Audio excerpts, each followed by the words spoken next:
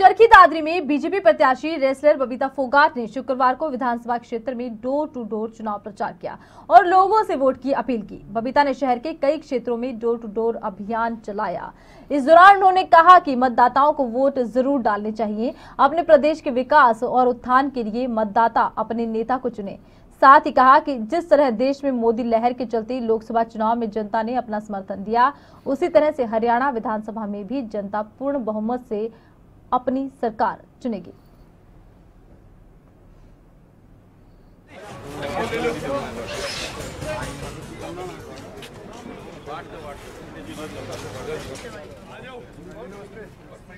तो चरखी दादरी से बीजेपी की प्रत्याशी हैं और लगातार चुनावी रण में प्रचार करती हुई नज़र आ रही हैं। सूबे के विकास के लिए अपना नेता चुने, ये अपील करती हुई नज़र आई। आप